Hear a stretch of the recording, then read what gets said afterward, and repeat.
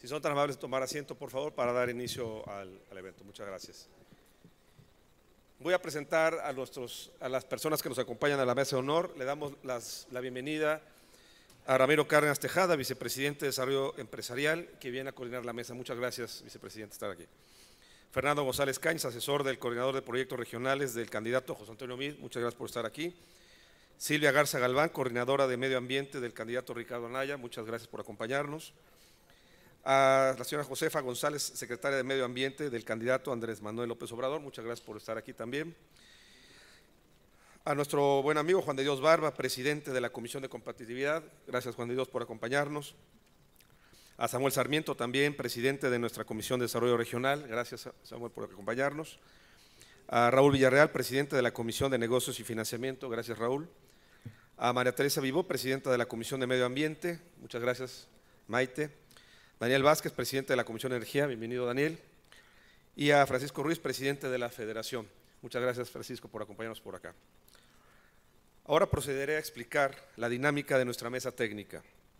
Para comenzar, se realizará un sorteo, el cual consistirá en, cada uno, en que cada uno de los representantes de los, de, los candidatos sacará de una urna de papel en la cual viene anotado un número del 1 al 3 y así poder saber cuál es el orden de participación de cada uno. Posteriormente, el representante de Coparmex, según el orden del sorteo, fijará el posicionamiento institucional sobre el tema de la Mesa de Desarrollo Regional Sostenible para posteriormente escuchar las respuestas de los representantes de los candidatos, quienes tendrán hasta cinco minutos para plantear su visión, opiniones y propuestas sobre el tema. Para que exista equidad, cada representante de los candidatos tendrá el mismo tiempo y para ello contamos con un reloj en caso de que alguna intervención se pase de los cinco minutos el sonido del micrófono irá disminuyendo hasta quedar en silencio. Cedo entonces la palabra a Ramiro Cárdenas, nuestro vicepresidente nacional, quien dará el posicionamiento de Coparmex en cuanto al tema de desarrollo regional sostenible. Muchas gracias, Ramiro. Bienvenido. Paco, muchas gracias. ¿Se escucha? Muchas gracias. Muy buenas tardes tengan todos ustedes. Antes de iniciar, quisiera pedirle a la decán que nos haga favor de pasar con los representantes eh, para que puedan tomar su lugar.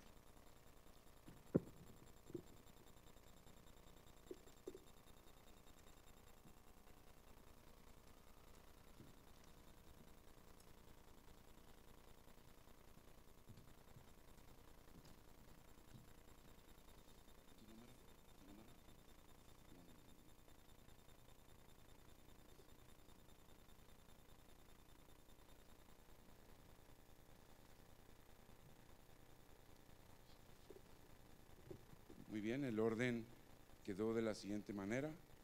Eh, Josefa González, representante del candidato Andrés Manuel López Obrador, queda en el número uno, en el orden número uno. Eh, posteriormente, eh, Fernando González Canes, representante del candidato José Antonio Mic, número tres, perdón. Mira, cambiamos el orden, perfecto. Fernando, tres. Entonces, Silvia, dos. Muy bien. Pues bienvenidos de nuevo y procedo al posicionamiento de Coparmex Nacional. Muy buenas tardes tengan a todos. Es un gusto y un privilegio tener la oportunidad de coincidir el día de hoy con todos ustedes en este espacio orientado a la reflexión y el diálogo en torno a una de las necesidades más apremiantes en nuestro país, la consolidación de un verdadero modelo de desarrollo regional sustentable sostenible. México hoy en día es uno de los países de la OCDE y de América Latina que cuenta con una mayor polarización de la riqueza y cerebros severos desequilibrios estructurales en el desarrollo de sus regiones. Es evidente que en nuestro país existen grandes brechas de desarrollo entre nuestras tres grandes regiones. El norte se caracteriza por ser la región más industrializada del país. La zona centro goza de una bonanza económica y se perfila como la zona potencial con amplias capacidades para detonar un ecosistema de desarrollo regional próspero en los próximos años. En la zona sur cuenta con los niveles de desarrollo más bajo y de mayor polarización de la riqueza e incluso muchos de los estados de esta región enfrentan diversos obstáculos para la consolidación de un crecimiento económico duradero. los empresarios y la sociedad civil organizada a través del manifiesto MX, consideramos que estas desigualdades son reflejos de las diferentes capacidades productivas que coexisten en el país y al mismo tiempo producto de las diferencias en cuanto al manejo de políticas públicas a nivel estatal y municipal para incentivar ecosistemas de desarrollo regional integral y sostenible.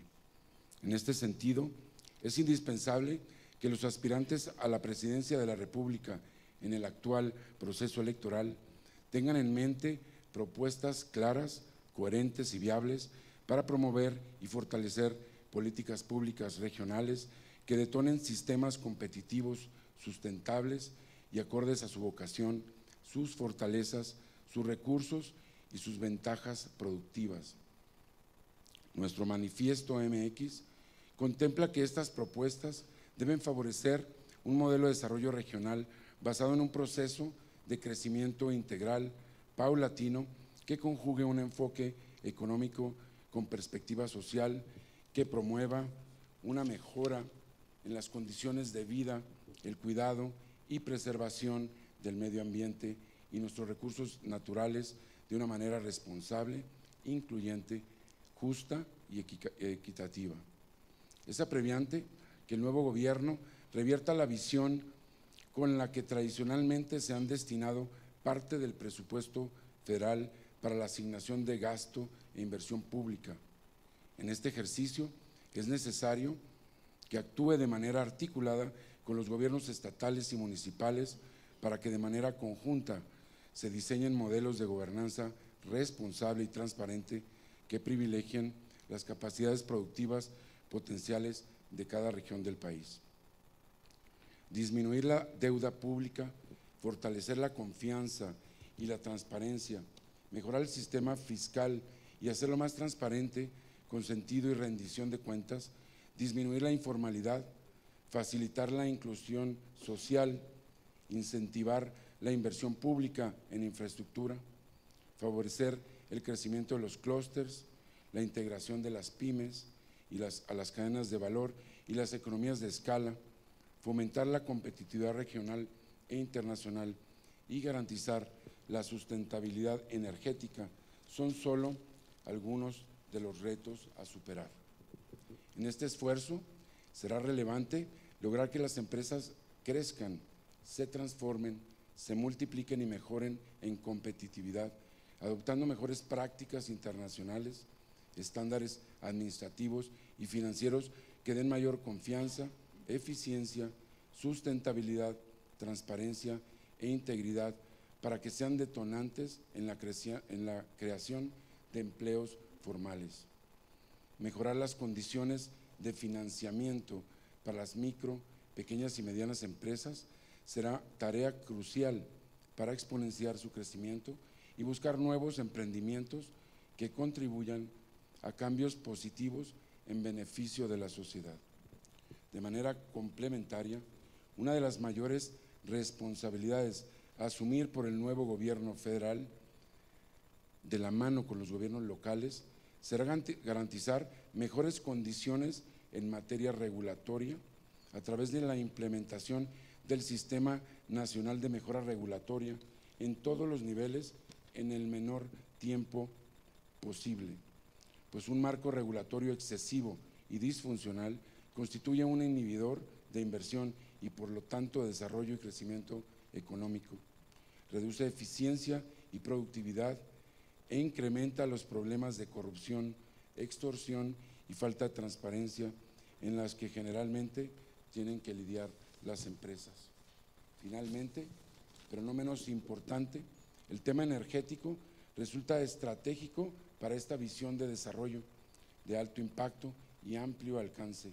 La necesidad de promover una reforma eficiente en este sector conlleva la necesidad de plantear una agenda para el desarrollo del sector energético a nivel regional e interregional basada en innovación y la aplicación de nuevas tecnologías, así como de esquemas financieros adecuados y suficientes, mejorar las condiciones de competitividad y productividad del mercado de hidrocarburos a nivel internacional será uno de los compromisos más importantes a adoptar en los próximos años para tener un sector energético fortalecido y consolidado, se requiere diseñar mecanismos de mayor participación de empresas nacionales e internacionales que con una visión de largo plazo aporten no solo sus inversiones, sino también tecnologías, talento humano y que estén dispuestas a celebrar alianzas estratégicas para asegurar no solo la autosuficiencia de los recursos energéticos, sino precios y tarifas competitivas y accesibles que puedan beneficiar a los millones de consumidores y en general a mejorar las condiciones de vida de los mexicanos. Muy bien, pues vamos a pasar para continuar con el orden del día. Entonces, iniciamos con, le vamos a pedir a la representante de Andrés Manuel López Obrador, nos haga favor de hacer su presentación. Tienes cinco minutos, hay un reloj por ahí que no inicia hasta que tú inicias también, pero les pido por favor a todos los participantes que nos hacemos a nuestro reloj que tenemos enfrente para dar tiempo a todos a participar. Adelante, por favor, Josefa, el micrófono es tuyo. Muchísimas gracias.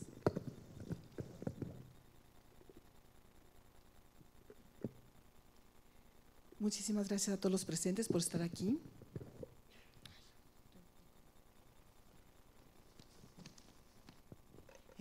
Es un verdadero gusto y es un verdadero honor el estar aquí. Ahorita comentábamos la importancia que es que estemos todos presentes, que tengamos un diálogo, que hablemos, que nos pongamos de acuerdo, que no nos pongamos de acuerdo, que negociemos. Esta es una idea que tenemos de gobierno.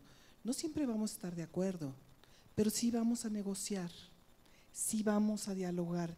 Tenemos que hacerlo, porque tenemos que construir un México nuevo, un México limpio y un México que todos queremos. Y la única forma de hacerlo es en cooperación y en colaboración. Entonces, muchísimas gracias. Estoy muy honrada, como lo dije antes. Estoy muy contenta de estar aquí. Este es el principio de un diálogo que espero dure muchos años. El primer punto quiero comentar sobre la estrategia integral de la inversión pública en infraestructura, que consiste en la necesidad de corto y largo plazo en todos los niveles de urbanización y que revierta los ocho años de crecimiento negativo en este rubro. Para el gobierno de Andrés Manuel López Obrador, la inversión en infraestructura será parte fundamental del crecimiento económico nacional en el marco de la Agenda 2030. Aquí quiero decir que los cumplimientos de los acuerdos de París y de la Agenda 2030 son prioritarios para nosotros, son importantísimos, no se cuestionan.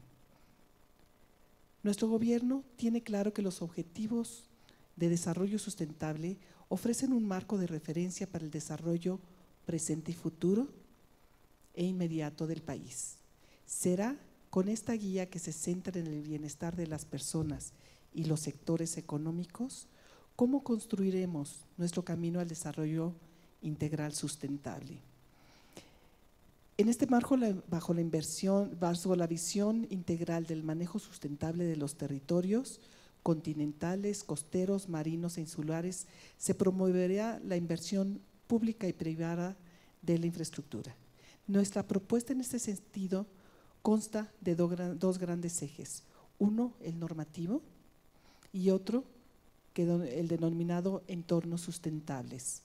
El eje normativo busca la armonización de marcos en los órdenes del uso del territorio y buscará incentivar el desarrollo regional sustentable.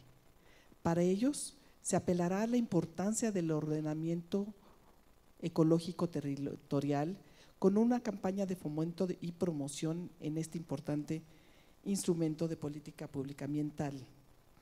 Adicionalmente, nuestra Secretaría, mediante el eje de entornos saludables que busca lograr el pleno ejercicio del derecho al medio ambiente sano consagrado en la Constitución, promoverá la inversión pública y privada en infraestructura que permita a las personas tanto en el ámbito urbano como en el rural, contar con un ambiente sano para su pleno desarrollo. Esto requerirá que una gran parte de la inversión pública y privada sea para sanear los ríos, lagos, playas, islas con visión de cuenca, pero también implica mantener libres de sustancias tóxicas los suelos y las fuentes de agua.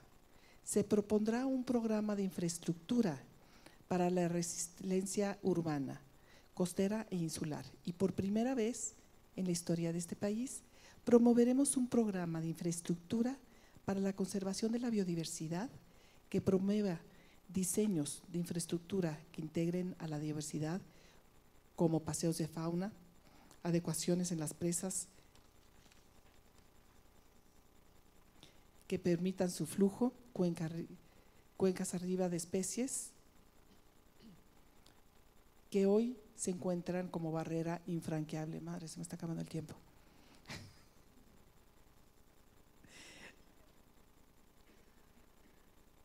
Ok, ya no tengo mucho tiempo para terminar lo que estaba leyendo, pero yo siento que para sintetizar, eh, la visión tiene que ser una visión de respeto absoluto al medio ambiente, en el cual todo se puede desarrollar, cabe lo público, cabe lo privado, lo público tiene su ámbito, lo privado tiene su ámbito, pero todo siempre con respeto al medio ambiente. Eso es fundamental, al medio ambiente y a los habitantes también del territorio, no lo podemos olvidar. Tenemos que gobernar.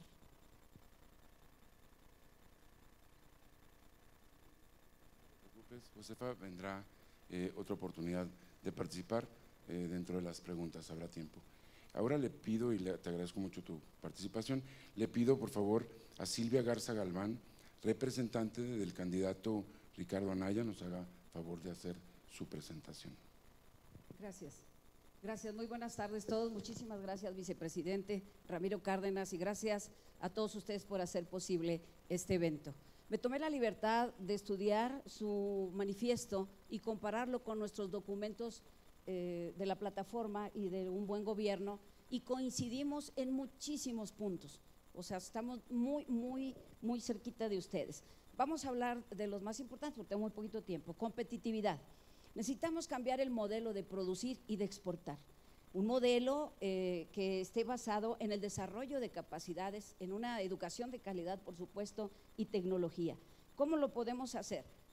Ya nosotros hablamos, eh, aquí estuvo nuestro candidato a la presidencia de la República, Ricardo Anaya, y hablaba de la parte de la educación también, de poner en el centro de nuestras políticas públicas en materia de educación al estudiante, dignificar al maestro, tener estímulos también para los maestros, que las normales se conviertan en semilleros y que también exista la licenciatura eh, bilingüe, impulsar sistemas de información, transparencia, implementar, por supuesto, estos clave estímulos económicos y que los maestros, también los mejores maestros, bien pagados, asistan a zonas eh, marginadas. Atacar las causas estructurales de la pobreza. ¿Qué nos está pasando? Una falta de acceso al financiamiento, una falta de acceso a la educación de calidad y el salario mínimo es muy bajo. El compromiso de nuestro candidato a la presidencia de la República, Ricardo Anaya Cortés, es un día después de ganar la elección, más bien del día de la toma de protesta, pasar el salario de 88 pesos a 100 pesos y luego trazar una ruta gradual bien planeada hasta llegar a 109, donde marca ahí, 190, perdón, donde para llegar a la línea que traza Coneval de Bienestar. Eh, necesitamos evaluar los programas sociales, necesitamos, eh, hay muchos programas, hay muchos miles y millones de pesos ahí en esos programas y siguen aumentando los pobres.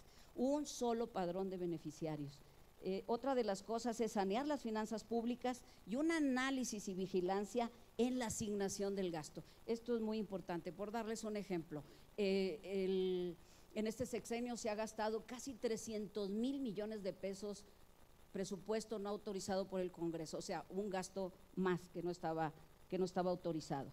Y no se trata de dejar de comprar galletas o lápices, no, se trata de ir a la cabeza, a lo que sabemos que está pasando, dejar asesorías innecesarias, estar bien pendientes a todos los contratos de obras públicas con precios inflados, el recapetear calles que, están buenas y las recapetean porque ahí es un negociote, hacer obras innecesarias. Otro de los temas es vincular a las universidades y centros de investigación con el sector empresarial elaborar un plan nacional de infraestructura a largo plazo. Eh, donde se focalicen inversiones. Una de las cosas que tenemos es que cada presidente que llega, ustedes tienen que esperar pues saber que ese presidente qué es lo que va a construir. Por eso queremos hacerlo a largo plazo para no acotar la inversión, para que no, haya incertidumbre en la inversión de largo plazo. Y hay obras que vamos a hacer, como por ejemplo terminar, eh, hacer la terminal para automóviles en Altamira, la carretera Barranca, eh, eh, Barranca Larga en Ventanilla, Oaxaca, y el tramo corto de Guadalajara, Aguascalientes, que ya lo anunció nuestro candidato eh, Ricardo Anaya. El desarrollo regional, modelo actual, es un modelo asistencialista que tenemos que cambiar.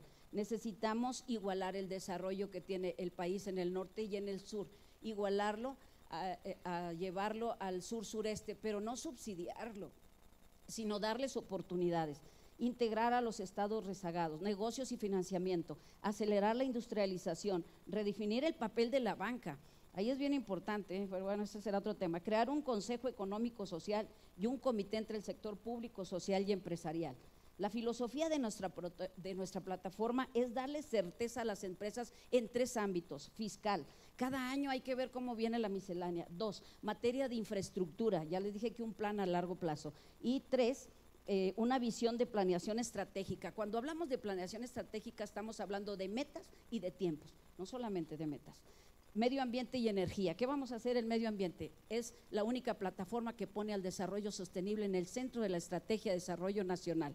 ¿Sí? Un gran impulso a las energías renovables entramos ahí a la economía verde, se van a generar muchos empleos verdes, impulso a la generación solar masiva, techos solares, así es que será una gran oportunidad para todos ustedes. Muchísimas gracias. Muchísimas gracias Silvia por tu participación. Ahora le pedimos, tiene el turno Fernando González Canes, representante del candidato José Antonio Mit. Adelante, tiene este micrófono. Muchísimas gracias. Gracias a Coparmex por este, por este foro, en donde podemos contrastar no nada más las posiciones de los distintos candidatos, sino contrastar lo que hasta ahora ha sido un reclamo en este país de la gente que hace posible la creación de empleos y el desarrollo económico de este país, por qué tenemos que estar peleando la parte de medio ambiente con la parte de desarrollo económico. La sustentabilidad la entendemos muy bien como, una, un cimiento de tres patas en donde la parte social, eh, la parte eh, financiera eh, y la parte técnica ambiental tienen que estar de la mano.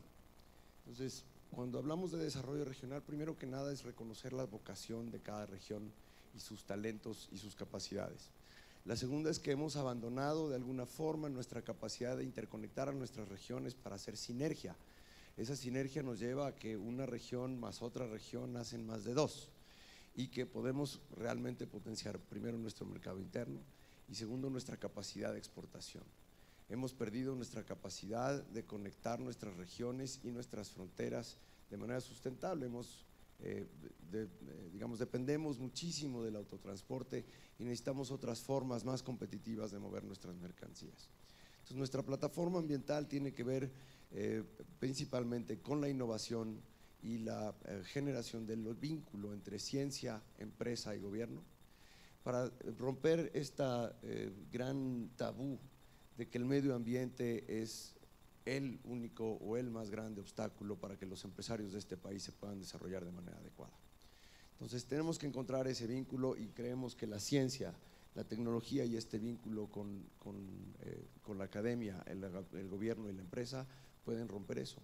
Incluso México se, puede, se ha empezado a perfilar como una potencia energética en la parte de desarrollo de nuestras propias tecnologías para, el para la eh, producción de energía eólica solar y nuestra capacidad de desarrollar este combustible de transición, la transición energética que es el gas y que hoy mueve de manera muy importante y que ha puesto en riesgo de manera muy importante el desarrollo de los empresarios, sobre todo en el altiplano y en el, y en el bajío. Entonces, el eh, tercer punto en este, eh, en este debate es si podemos tener una eh, autoridad ambiental con trámites claros, con planes regionales claros, este, tendremos también una certidumbre mucho más alta para nuestros empresarios y el desarrollo de empleos y de empleos de más alta tecnología y mejor remunerados. Para el Estado mexicano debe de ser una prioridad la protección de nuestros ciudadanos y nuestros centros de producción en contra de los desastres naturales. La adaptación al cambio climático implica que tenemos que duplicar la inversión en materia de prevención de desastres y manejo sobre todo de fenómenos hidrometeorológicos extremos. Ahora nos dio una lección que el sismo no se nos puede olvidar dentro de los planes de protección civil y tenemos que tener una forma muchísimo más eficaz de poder ayudar a nuestra industria nacional a adaptarse a estos cambios de transición energética, de competitividad en el transporte de mercancías y sobre todo en la movilidad de recursos humanos bien capacitados y de calidad. El cuarto eh, pilar de esta plataforma ambiental que se, se entrelaza como red con nuestra política energética, nuestra política de desarrollo económico, tiene que ver con eh, la sustentabilidad hídrica.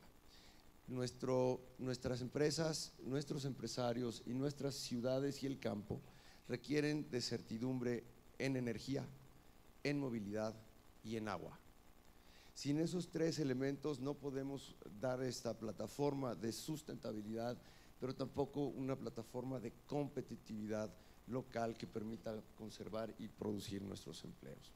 Y por último, la plataforma se encuentra que para todo esto tiene que haber presupuesto y tiene que haber un marco financiero que sea sostenible en el tiempo. Y para ello, una plataforma de pago por servicios ambientales, de reconocimiento a la responsabilidad eh, social y a la responsabilidad ambiental de las empresas es fundamental, junto con una política de promoción hacia el exterior de nuestras pymes hacia los mercados locales y de nuestras medianas y grandes empresas con capacidad de exportación para poder crear, competir en mercados que aún cuando tenemos hoy una desventaja que reconocemos eh, en, en términos de normativos y estándares, pero que tenemos que solucionar.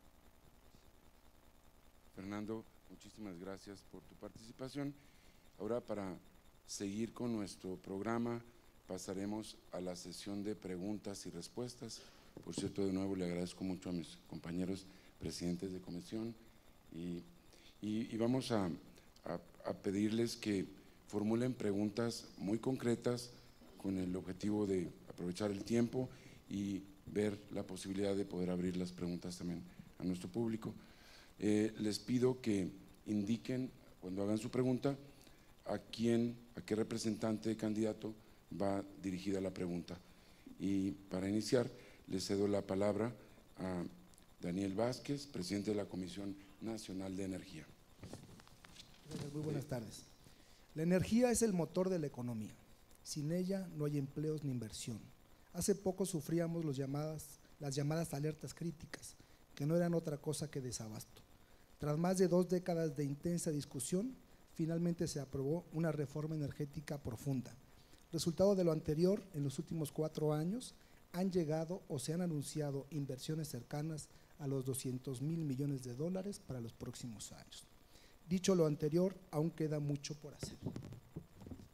La pregunta es para Josefa González Blanco, representante de la coalición Juntos Haremos Historia. ¿Ustedes planean seguir profundizando la implementación de esta reforma o dar marcha atrás con todo lo que implica? ¿Nos puede compartir tres acciones puntuales que tomarían? Le pido, por favor, a, Josefa y a todos los que van a responder preguntas, eh, tienen dos minutos para contestarla y iniciamos, por favor. Eh, la reforma, bueno, lo que es ley se cumple y se tiene que cumplir. Los acuerdos tomados por el gobierno se tienen que honrar, se van a honrar. Eso es importantísimo.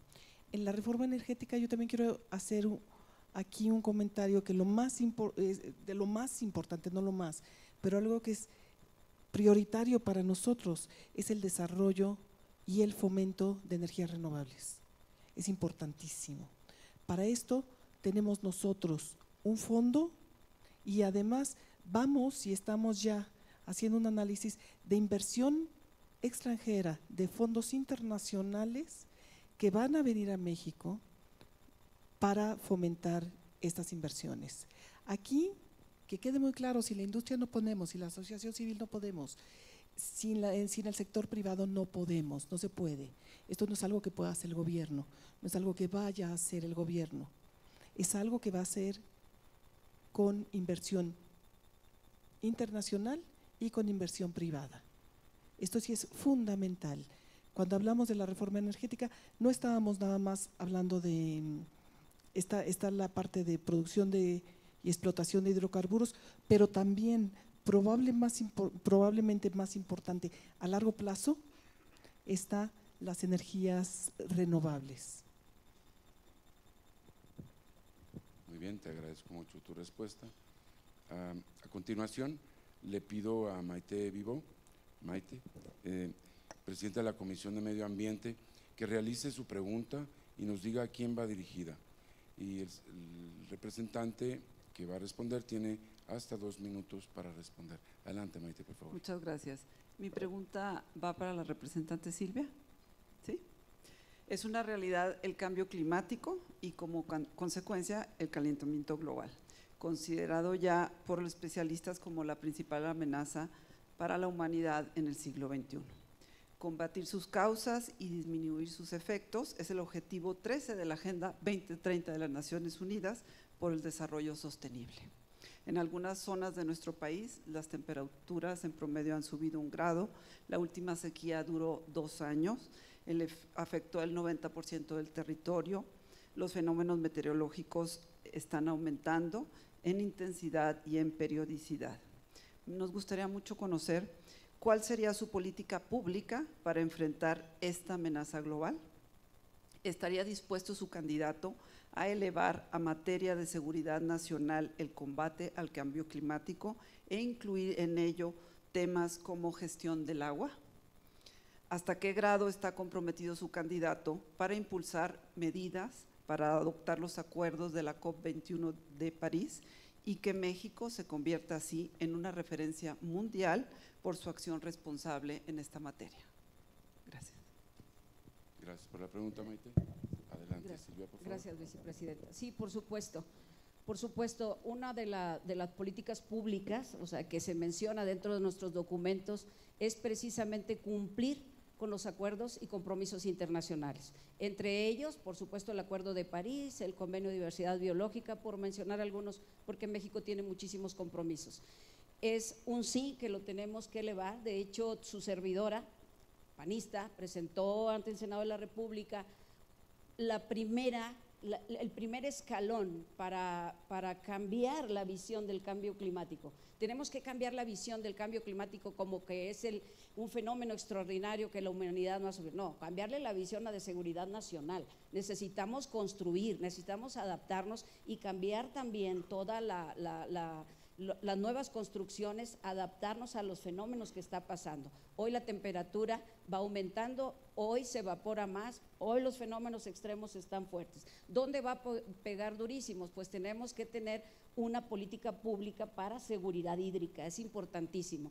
Pero, pero esto es en todo, tenemos que cambiar la visión, la visión de ver el agua, ¿sí? Eh, para, para, transformarla en una visión integral, en una visión de cuenca, proteger las cuencas altas, porque las cuencas solamente tienen divisiones en el papel, o sea, geográficamente las cuencas están todas interrelacionadas y comunicadas, así es que tenemos que cuidar. La vida se sustenta en tres pilares importantísimos, agua limpia, suelo limpio y aire limpio. El suelo es importantísimo también y está afectando fuertemente este fenómeno que está azotando a la humanidad. Así es que, por supuesto que Tan, es así que el PAN votó a favor para plasmar el Acuerdo de París en la Ley General de Cambio Climático que se aprobó ahora el 27 aproximadamente de abril en este periodo ordinario de sesiones. Gracias. Agradecemos la respuesta, Silvia. Y a continuación le pido a Raúl Villarreal, presidente de la Comisión de Negocios y Financiamiento, para que realice su pregunta y nos diga, por favor, a quién va dirigido, recordando que a quien conteste tiene solamente dos minutos, tiene enfrente el reloj. Adelante, por favor, Raúl. Gracias, vicepresidente. Y ahora sí que por probabilidad eh, la pregunta va dirigida a Fernando González, representante del candidato José Antonio Mí. Y, y es un cuestionamiento que viene de nuestra Comisión de Negocio y Financiamiento después de un consenso entre los miembros. Es, es una realidad que hoy tenemos un sector financiero bien capitalizado, una banca de desarrollo que aumentó su otorgamiento de crédito en casi 900 mil millones de pesos según la última Convención Nacional Bancaria en Acapulco. Tenemos programas de apoyo a cadenas productivas de NAFIN, programas de apoyo al emprendedor eh, por medio del INADEM que, que, es, que, que han funcionado, pero requerimos incrementar su capacidad y el alcance a más empresarios. ¿Cómo van a garantizar ¿Cómo, ¿Cómo, van a garantizar la continuidad de los programas de apoyo que actualmente existen para los emprendedores, empresas y cadenas productivas o qué harían diferente? Una gran pregunta, no necesariamente ni sustentable ni regional, pero este, hay, un, hay una parte de la plataforma del gobierno de Pepe Mid eh, que se interrelaciona con esto. Como hemos construido la plataforma, es como una red en donde el desarrollo económico no está desconectado con el sector energético, ni con la parte social, ni con la parte eh, de emprendedurismo y de primeros negocios, ni con la parte de desarrollo de nuestra capacidad industrial al día de hoy. Lo que sí creemos es que hay que cambiar eh, esta parte de darle continuidad, me parece que para Pepe Mid ya no es suficiente. Pepe Mid está planteando un cambio, porque la transición energética y la competitividad este, de nuestras empresas hacia afuera requiere de un nuevo impulso. Creemos que no podemos seguir creciendo al uno y medio o al 2, que necesitamos duplicar esa capacidad de crecimiento. Y para eso lo que necesitamos es que la, la iniciativa privada tome las riendas del crecimiento. Poner en sus manos los, los programas de financiamiento, y los accesos a nuevos mercados nos parece que es la visión para poderlo sacar hacia, hacia, adelante. Para eso necesitas energía suficiente, confiable, a precios accesibles. Necesitas la forma de poder sacar tus productos y de acceder a nuevos mercados de manera competitiva y no gastando el doble en tráiler del Bajío a la frontera de lo que te cuesta un contenedor de China a México y necesitamos que eh, la industria cuente con agua suficiente para poder crecer y desarrollarse de manera adecuada. Eso en un ambiente de seguridad financiera y de estabilidad financiera nos parece que es la mejor forma de darle a nuestros empresarios la forma de crecer al doble. Fernando, muchas gracias por tu respuesta. A continuación, le pido a Samuel Sarmiento, presidente de la Comisión de Desarrollo Regional, que realice su pregunta nos diga a quién va dirigida, recordando, disculpen, pero al representante que corresponda, que tiene dos minutos para responder. Adelante, por favor. Muchas gracias, vicepresidente. Bienvenidos, bienvenidos representantes de los candidatos. Eh, bueno, yo, yo, yo, más bien quisiera dejar esta pregunta abierta, esperando que alguno de ustedes tres sea el primero en, en cacharla, y desde ahí vamos viendo las ganas de construir, ¿no? Este, el, el, el tema del, del, desarrollo regional en Coparmex lo traemos muy bien estudiado desde hace muchos años eh, y nuestra preocupación central radica en que eh, pues en un discurso de campaña el asunto del desarrollo regional pues siempre va a ser bien recibido y aplaudido, ¿no? Yo creo que nadie puede decir que, que eso no se necesita en el país. El gran reto es cómo, cómo lo transformas en acciones concretas que repercutan en un bienestar real de las familias de, una región particular, ¿no?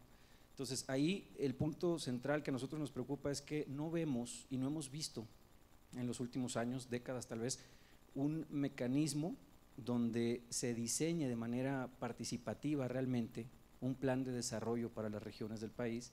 Y con participativa me refiero a un espacio en el que pues tal vez no sea el, gobierno federal, eh, los gobiernos estatales quienes tengan el monopolio de esa planeación, y se haga un poco más democrático el, el, proceso, donde la sociedad civil, en un modelo triple hélice, en el que eh, sector privado, academia, sector social, puedan dar su punto de vista sobre las necesidades de desarrollo en cada región, porque al final son ellos quienes localmente lo viven antes que el funcionario público.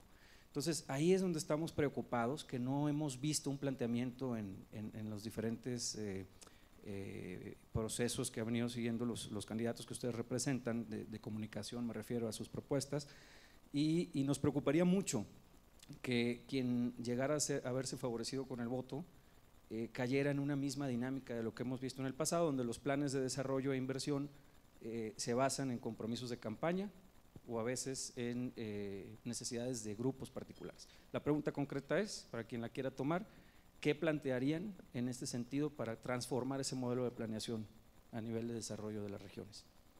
Adelante, por favor, Silvia. Sí, y quiero dejar claro que, gracias, presidente, quiero dejar claro que es algo integral, pero sí lo tenemos en nuestra plataforma, por supuesto que sí, y habla de implementar una estrategia que reduzca la desigualdad regional, particularmente sur-sureste, fortalecer el mercado interno como palanca de desarrollo. Sea, ahí, aquí tenemos que aumentar la masa crítica del consumo, inversión y ahorro. La otra es promover el desarrollo de la economía social.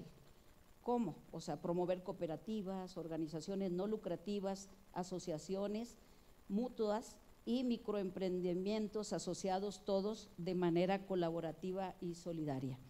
Elaborar un plan nacional de infraestructura, o sea, un programa nacional, lo dije hace rato, que vaya más allá de los seis años, para que haya una, una certidumbre en la inversión. Y también un plan integral de desarrollo de transporte urbano e interurbano, diversificar la oferta del transporte con una visión estratégica de eficiencia y protección al medio ambiente.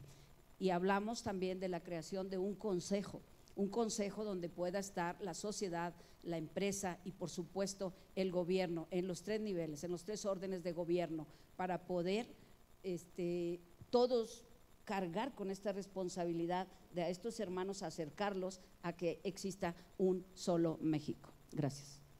Gracias, muchas gracias Silvia. Dada la naturaleza de la pregunta y que fue abierta. Probablemente algún otro de los representantes quiera también responderla. sin duda el sector energético forma una, es, es, un pivote importante para poder eh, tratar de igualar esta brecha que hemos creado entre norte y sur. Sin embargo, también eh, en México tenemos muchos años en donde la política industrial ha sido no tener política industrial. Y me parece que eso, este, Pepe ha planteado que eso es un grave error y que necesitamos impulsar a nuestra industria de manera diferente. Hoy en día tenemos la oportunidad como líder en la parte ambiental a nivel internacional de crear nuestras propias competencias dentro de esa industria y fortalecer nuestra industria en ese ramo, al igual que en la aeroespacial o en la electrónica, que nos ha ido este, muy bien en los últimos años y que podemos todavía multiplicar eso. Nuestro plan de desarrollo regional se basa en tres niveles. Un, eh, un programa de desarrollo de ciudades eh, competitivas y sostenibles hacia el futuro. Hemos seleccionado las 100 ciudades más importantes, las 50 que generan básicamente el 38 al 42% del PIB, más un grupo de 50 ciudades Gacela que sabemos que van a poder crecer entre el 12 y el 15% y que representan una gran oportunidad de reordenamiento del crecimiento y del territorio. Y por, por otro lado, eh, la certidumbre de dotar eh, a nuestro campo y la parte de desarrollo rural una plataforma de crecimiento para cerrar la brecha entre la ciudad y el desarrollo rural nos parece fundamental. La política industrial tiene que establecerse y tiene que establecerse una política industrial de fomento, no una política industrial de restricción. Entonces, eh, sí creemos en nuestra plataforma que es la iniciativa privada y la participación ciudadana en cómo se conforman esas políticas y presupuestos hacia la industria esa es la base de nuestra política hacia, hacia el sector privado. Por supuesto que la participación en APPs se vuelve, una, se vuelve indispensable para el desarrollo del país. Fernando, muchas gracias. Y por último, pasas también a la pregunta, ¿verdad? Más que echar rollo, te voy a contestar con un ejemplo que estamos estudiando ahorita. La basura estamos de acuerdo que es un problema terrible en México. Nos sobrepasa genera insalubridad, cáncer. Bueno, es un problema que está totalmente desbordado y totalmente, bueno, es una tragedia. ¿no? ¿Qué proponemos nosotros? Claramente el municipio no tiene la capacidad hasta ahora, sobre todo en las ciudades grandes, de contener este problema. Ahí entra la inversión privada. Ahí entran estas industrias con las que ya nos reunimos, por cierto, para termovalorizar, para separar y para reciclar. Pero ¿qué pasa? No van a entrar, ¡bang!, se ponen encima y generan un problema social. Tenemos que generar a la vez la inversión privada, respetada, consensada, pero también generar un tejido social para que le llegue a las comunidades, para integrar a esas personas en cierta forma con una cooperativa paralela, pero que se sientan integradas para evitar el conflicto social. Entonces tenemos a la comunidad, tenemos a la industria, tenemos a la empresa privada, tenemos al gobierno que está gestionando y también tenemos, vuelvo al punto, maravillosos instrumentos internacionales de apoyo que han sido tradicionalmente, históricamente subutilizados. ¿Qué tiene que hacer Semarnat el 3 de diciembre? Gestionar, acompañar. ¿A quién? A la iniciativa privada, apoyando a las cooperativas, apoyando al tejido social para no generar un problema. Para nosotros todos caben. Tenemos que atender a todos los... Muchas gracias por tu respuesta. A continuación, le pido a Juan de Dios Barba, presidente de la Comisión de Competitividad, que realice su pregunta y nos diga a quién va dirigida y de nuevo al representante. Nos tomamos la libertad de que respondieran también los otros representantes porque no estaba dirigida a nadie, pero, pero nos contestaron los tres. Muchas gracias. Pero ahora te pido, por favor, Juan de Dios, que nos digas a quién va dirigida la pregunta, recordando que tenemos dos minutos para la respuesta. Sí, muchas gracias, muy buenas tardes, gracias vicepresidente. Eh, escuchamos a los candidatos presidenciales y a los representantes de sus equipos a veces con términos rimbombantes, desarrollo, innovación, tecnología, pero lo que México necesita es atender los fundamentales. Dentro de estos fundamentales, Coparmex ha estado trabajando desde hace varios años en la creación de un sistema nacional de mejora regulatoria por fin logramos que el Congreso emitiera, eh, aprobara una ley que esperamos este viernes sea promulgada por el presidente de la República. Yo le preguntaría a Josefa González Blanco el compromiso, el compromiso real que exista, si es que lo tienen, para implementar rápidamente este Sistema Nacional de Mejora Regulatoria que se convierte la tramitología en uno de los principales inhibidores de la inversión nacional y extranjera. Se habla de atraer inversión, pero lo que las empresas nos dicen es, no puedo, me tardo en hacer trámites dos años, tres años. ¿Cuál es el compromiso real? Y una segunda parte que tiene que ver con eh, el crecimiento económico desigual que tenemos en nuestras entidades federativas. ¿Qué acciones concretas presenta el candidato Andrés Manuel López Obrador para detonar el crecimiento en las entidades más rezagadas y cuál es su opinión sobre las zonas económicas especiales. Gracias, Juan de Dios. Gracias, Juan de Dios. Em, el compromiso es absoluto, sí. No podemos seguir con esa trametología, no podemos seguir con esa burocracia que detiene todo, que inhibe todo, que perjudica, que hace pérdida de tiempo, de economía, eh, contaminamos más. Sí, definitivamente no veo por qué no. Mm, va muy acorde con, con lo que estamos planteando nosotros. En este caso se requiere voluntad política. Y aquí sí quiero ligar, porque muchas veces va, esta tramitología va un poco de la mano de la corrupción.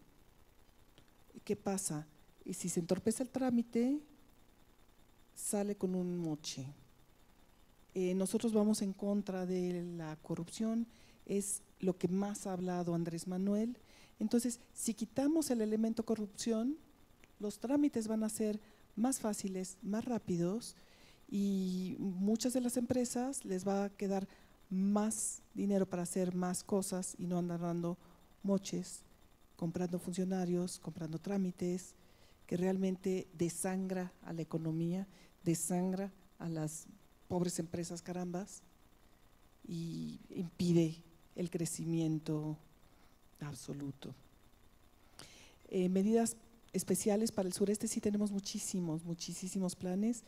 Eh, uno de ellos, bueno, esto en todo el territorio, pero en especial en el sureste, que padecemos una gran pobreza, lo hablo como chapaneca,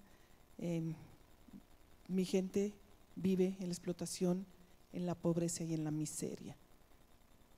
Que los gobiernos han sumido a mi tierra, a mi gente, a nuestro territorio en una pobreza. Muy bien, estamos en tiempo y pudiésemos tomar espacio para un par de preguntas para el público. Si desea alguien participar, le pediría, por favor, también al micrófono, sí, les pediría también de ser muy concretos en su, en su pregunta y sobre todo también decir a quién va dirigida su pregunta, por favor. Bueno, va dirigida a los tres, a los tres representantes de la Comisión de Negocios y Financiamiento.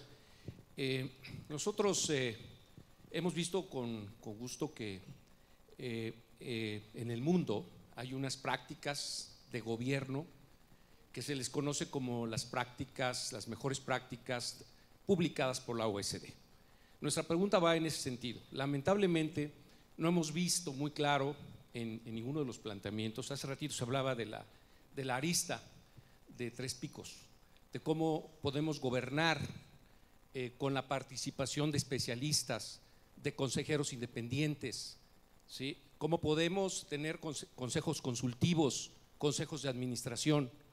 Del 2001 al 2006 se implantó el gobierno corporativo en el sector, en la banca de desarrollo. Fue muy exitosa. Se cambió el Infonavit, Nafinsa, eh, eh Bancomex, eh, Banobras, se creó el Fondo Nacional de Infraestructura. Lamentablemente no hemos visto ni en, los, planteamientos de ustedes eh, muy claro este tema y es una mejor práctica de gobierno institucional.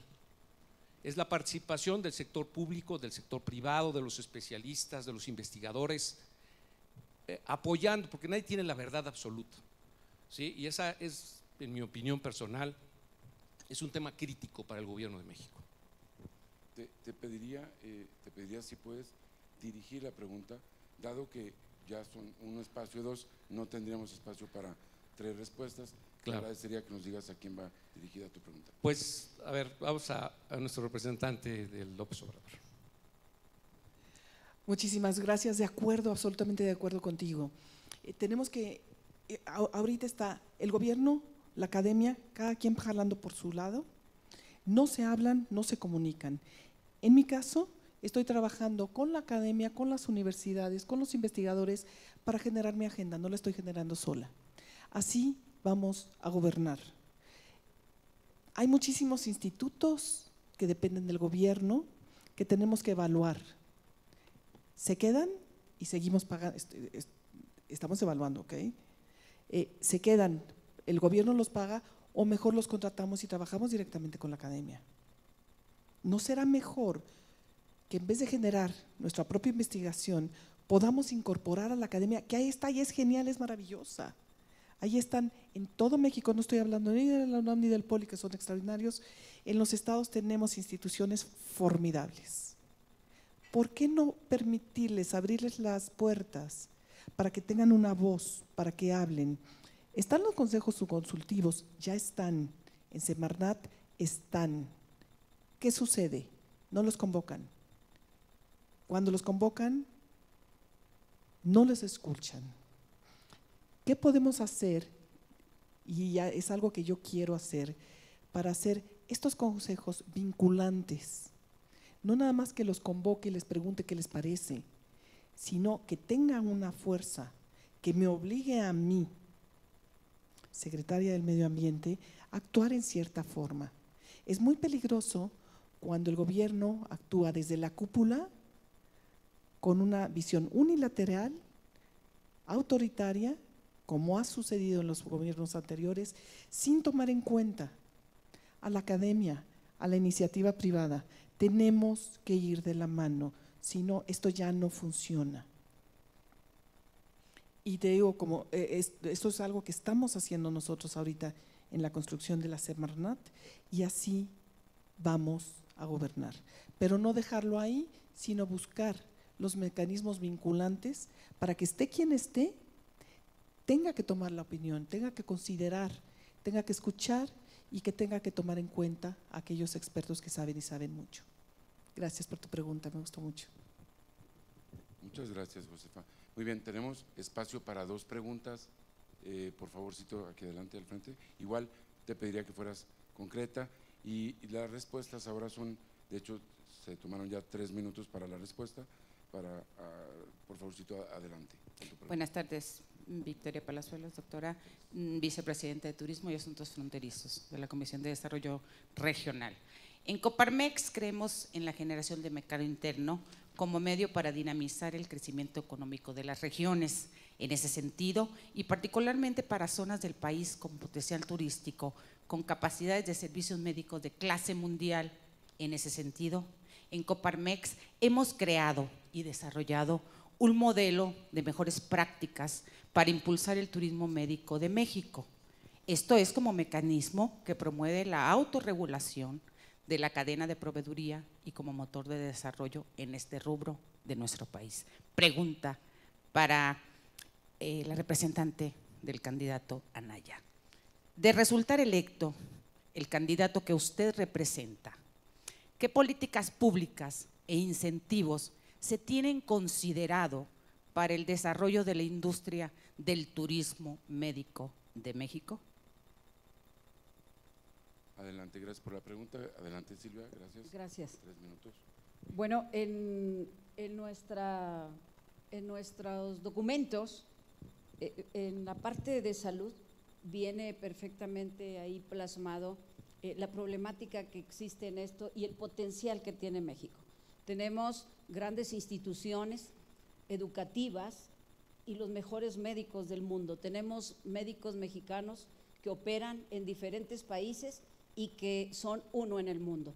Tenemos también nosotros el impulso, que también por cierto ustedes aquí lo mencionan, de darle, por, ejemplo, al expediente clínico médico. Sabemos perfectamente bien que es una oportunidad que ingrese eh, dinero al país. Uno de los impulsos de este turismo médico es precisamente en la frontera.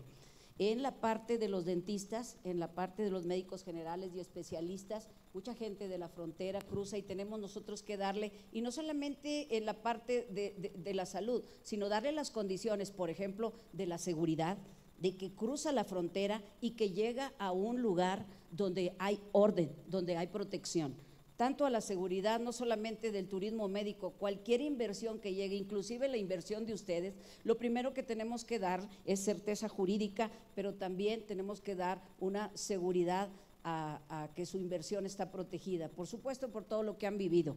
Este, esto es la parte que vamos a hacer y que ya eh, tenemos el foco prendido para iniciar esta atracción de este capital, de este flujo de dinero que se derramará, por supuesto, y pondremos la infraestructura y el apoyo necesario en la parte de la frontera, pero también en el resto del país. Gracias.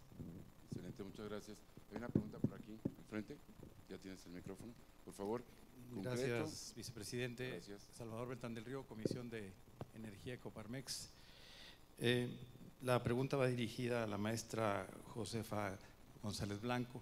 En relación a su respuesta al planteamiento que hizo el presidente de la Comisión de Energía, Daniel Vázquez, de la Comisión de Energía Coparmex, eh, señala usted que eh, lo que está en ley se va a respetar.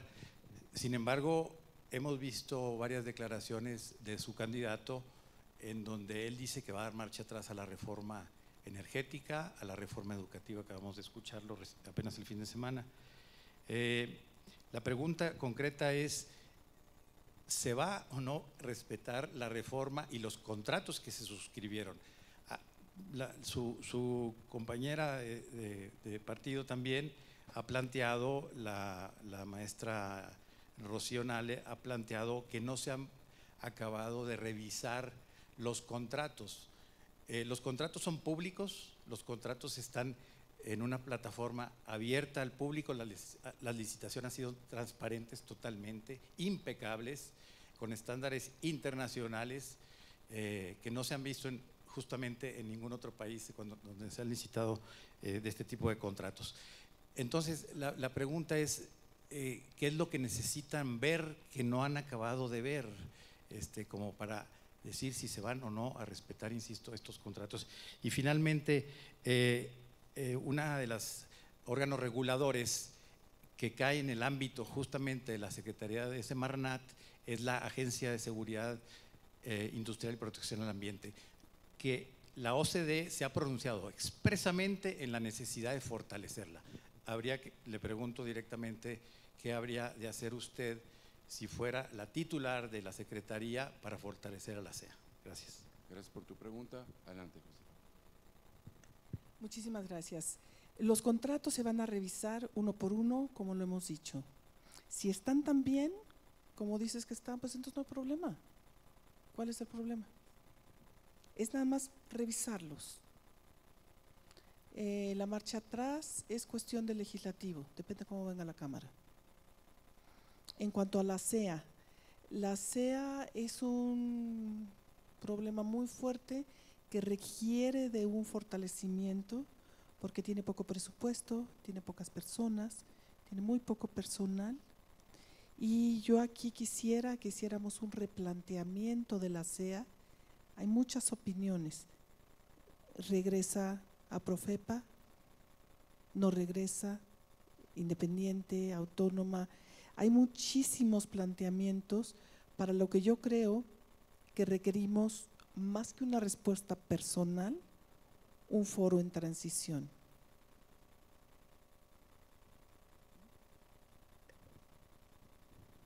Agradezco mucho tu respuesta y les pido eh, su comprensión. El tiempo se ha agotado, ha sido, ha sido un día intenso, mañana promete serlo también igual de intenso. Eh, vamos con el minuto de cierre, de acuerdo, porque así es, y ¿por qué no? Un minuto y corre el tiempo, por favorcito. Adelante, le vamos a dar primero el espacio. Silvia, ¿tienes, tienes un minuto de cierre, ¿por qué no? Gracias. Tenemos, gracias. Muchísimas gracias eh, por este evento. Yo les pido, por favor, revisar los documentos de la Coalición por México al frente que encabeza Ricardo Anaya. Van a encontrar ustedes muchísimos, muchísima similitud a lo que ustedes están proponiendo en este manifiesto. Para el frente nos preocupan muchísimas cosas, pero hay cuatro puntos importantísimos que tenemos que cerrar. Está la degradación ambiental, la pobreza, la inseguridad y el combate total y frontal a la corrupción. Necesitamos cerrar la brecha de la desigualdad entre la educación pública y la privada, entre la seguridad social, eh, la salud pública y privada, o sea, hablo de las instituciones, pero también en los empleos de ciudad y de campo, informales y no formales. Necesitamos ser generosos. Yo los felicito a ustedes porque leí su manifiesto y están bien compatibles. Revisen la plataforma de Ricardo Anaya de la Coalición por México al frente y verán que les conviene votar por nosotros. Muchas gracias, Silvia. Le vamos a dar ahora eh, el espacio a Josefa, por favorcito, un minuto. Bueno, yo seré muy breve. Quiero agradecerles eh, muchísimo su presencia, su interés. Eh, creo que se ha dicho lo que se tenía que decir, nada más que si habrá un gran respeto al medio ambiente como antes no lo ha habido. Eh, para nosotros es fundamental, es importantísimo y mm, otras administraciones lo han intentado, no lo han logrado y nosotros no lo hemos intentado, pero lo vamos a lograr. Muchísimas gracias. Josefa, muchísimas gracias. Fernando, adelante, por favor, un minuto. Muchísimas gracias por la oportunidad de estar aquí con ustedes. Se habrán dado cuenta de que sí importa a quién ponen ahí. De que sí importa la certidumbre sobre sus contratos y sobre las bases jurídicas y certeza jurídica de su patrimonio, de sus empresas y de los empleos que ustedes generan. Entonces se dan cuenta también de que hay una visión de desregulación y de dejar de poner al gobierno este, la pata en el pescuezo al empresario. Estamos a hacer equipo con la ciencia, con ustedes y con la regulación de cómo hacemos una plataforma más competitiva. Sí es cierto que nadie tiene la verdad absoluta y el autoritarismo es lo peor que le puede pasar a México ahorita. Hagamos este foro y hagamos la política industrial juntos. Les felicito por el manifiesto de nuevo. Lo hacemos nuestro y abrimos un espacio en la casa de campaña para todos ustedes. Fernando, muchas gracias. Josefa, Silvia, a todos ustedes eh, agradecemos enormemente su participación. Eh, ha sido, la verdad, una excelente experiencia el día de hoy y contar también, por supuesto, con nuestros amigos presidentes de comisiones y de federación. Eh, el día de mañana iniciamos a las 7.30. Los invitamos a que se desvelen y aprovechen mucho la noche, pero que se levanten temprano, por favor. Nuestros trabajos, reitero, inician a las 7.30 de la mañana. Muchísimas gracias para todos ustedes. Ha sido una excelente velada. Muchísimas gracias. Buenas noches.